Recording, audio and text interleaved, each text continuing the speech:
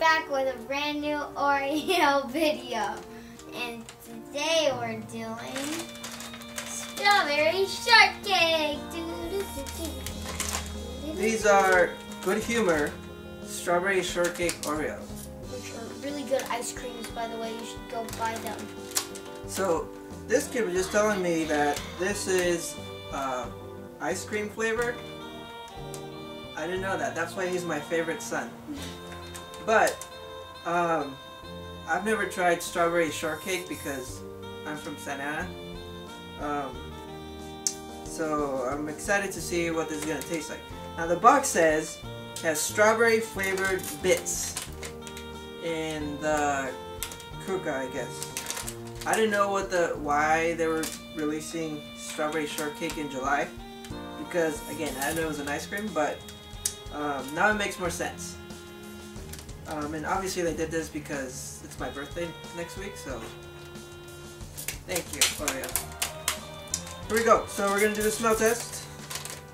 The smell test with our two nostrils. I think it's gonna smell like. No, wait, you first. I think it's gonna smell like children laughing. I think it's gonna smell like. Um, there used to be a strawberry shortcake cartoon when I was little. And Whenever you say strawberry shortcake, that's what I think of. This little girl with a big hat thing. Um, and then they have these vitamins that smell like strawberries. I think it's gonna smell like that. Okay, ready? Yeah.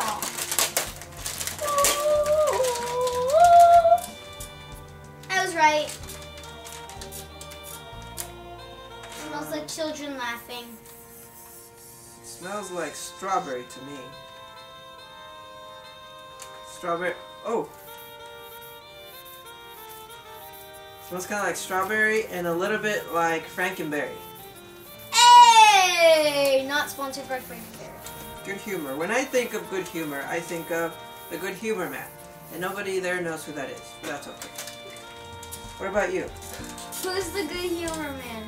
He's uh he was the guy in the commercials for Good Humor a long time ago. Okay. You can you can Google him. This is what the kukas look like. The vanilla or yellow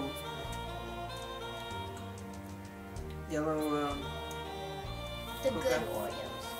taste it.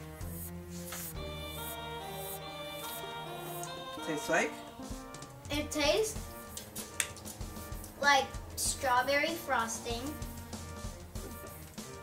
but a little more sugary and Oreos. my turn. Is it gonna taste like frosting?